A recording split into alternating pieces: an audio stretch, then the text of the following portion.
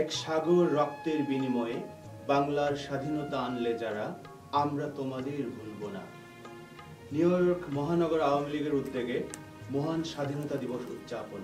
স্থান হাটবাজার party centre, Jackson Heights, New York. সময় বিকেল পাঁচটা থেকে রাত দশটা।